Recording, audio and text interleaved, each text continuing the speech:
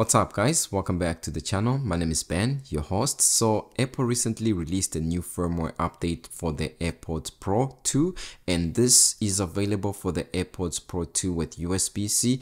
It's also available for the AirPods Pro 2 that use Lightning and it's the 7B19 update and in this video I'm going to be telling you all about the new update and how you can update your AirPods and this was released to go alongside the latest iOS 18.1 software update update that was just released. In order for you to check what the latest version of your AirPods is, there's a publicly available page for AirPods Pro firmware releases and you can visit it and you can see here the latest firmware versions for the AirPods Pro 2 with MagSafe charging case or USB-C. You can see the version is 7B19 and the AirPods Pro 2 with lightning charge case with uh, these ones also have a firmware version that is currently 7B19 and then if you have all these other devices like AirPods 4, AirPods 4 with active noise cancellation and these other devices you can always see the associated firmware or software version that those devices should be on. To check the current version that your AirPods are on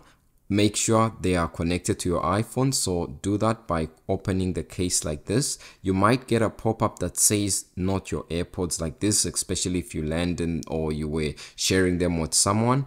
And if this happens, you want to go ahead and make sure you reset your AirPods. So you can do that by pressing and holding this back button until the white light turns to orange. So let me hold it so it turns to white and if I give it a few seconds and continue to hold you notice the blinking light is still blinking white. So I'll continue to hold and it's still blinking white. And now it started to blink orange and now I can let go of this button. And now these are Benjamin's AirPod Pro 2 and you can see the current status of charge for these AirPods Pro 2 with USB-C. So the case 100%, the AirPods themselves are at 100%. I made sure to charge them before making this video because it's a very important step that you need to take in order to update your AirPods. To check what the current version that the AirPods are on, you can go into your settings just below your Apple ID profile. You see that the AirPods show up right there.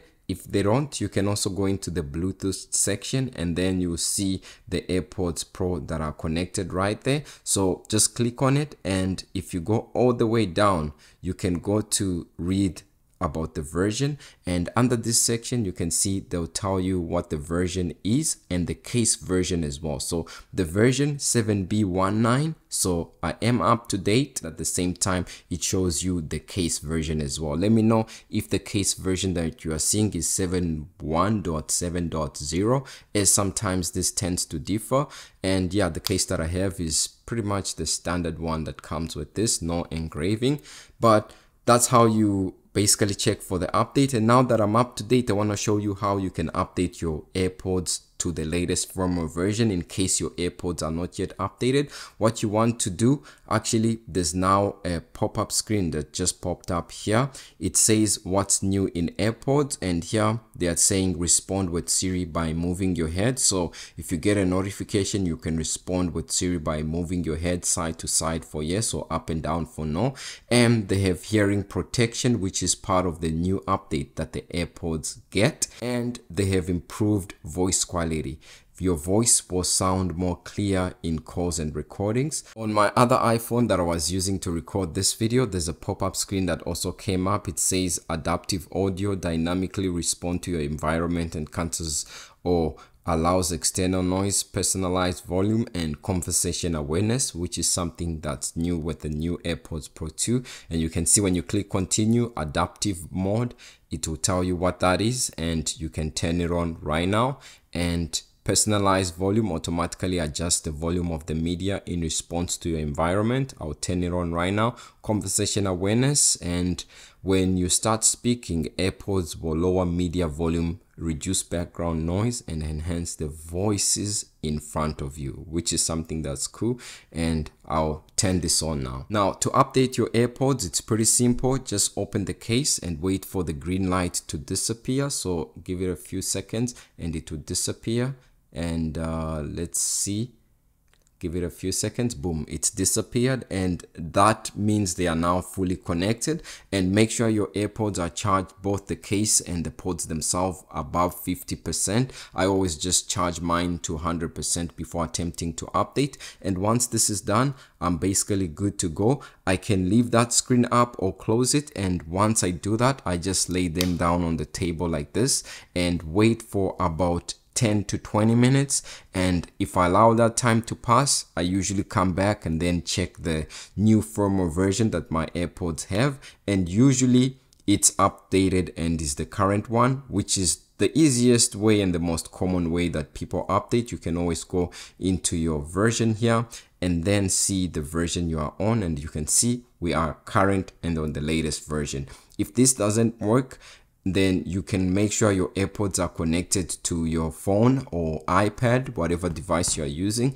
And what you want to do is take one of the pods out and listen to music and you make sure it's working and then put the pod back and then take the other side or the right side and listen to music for about 30 seconds for each pod. If they are both working and that's good you can put them back in the case and then just lay them next to your iphone just like that and give it about 10 to 20 minutes for it to update and it will essentially update in the background. If you have a Mac device of which this USB-C cable that I have is connected to my Mac and you want to update your AirPods, it's pretty easy to connect this to your Mac. Just make sure you are connected via Bluetooth and lay them close to your Mac just like we were doing with the iPhone and in most cases they will just update. If they don't update on the Mac, what you can do is do pretty much the same as what we did on the iPhone. Remove one pod, listen to music and test that it's working.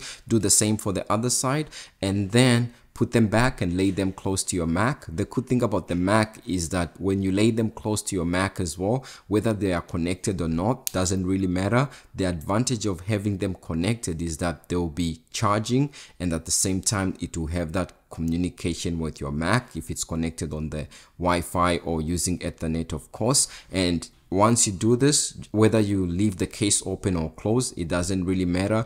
Give it about 10 to 20 minutes and it will update to the latest version or using your mac. Plugging the other usb end or usb-c end into the iphone unlike the mac doesn't seem to like help the update itself. So the pod plugged in method only seems to work on the Mac. Now, since we've updated, let's talk about the new features and changes that this new update has to offer. So if we go into our AirPods Pro 2 settings, you can see the noise controls is pretty much the same right there.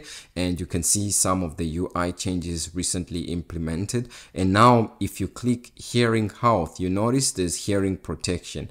AirPods can help your hearing from exposure to loud noises and when you click there you can see Loud sound reduction can actively reduce your exposure to loud environment sounds in transparency and adaptive modes. Loud sounds reduction is not active in off mode. So if you're using AirPods and there's loud noises in adaptive transparency mode, hearing protection will go a long way in helping. And if you are in a country or region where hearing assistance is active you also be able to see that. But for me it seems like in my country or region the hearing assistance isn't actually there so i can't test this yet. Apple actually had to get approval for it to be able to push out that new function or feature. But in my country and region this is not something that's supported yet. So that's just a quick update here on the new update for the AirPods Pro 2 with USB-C and the ones with lightning. Let me know what you think about this video and if you liked it leave a like and let me know if you have the hearing assistant in your country or region and how you are going to be using it with your AirPods Pro my name is Ben and I'm signing off. Peace.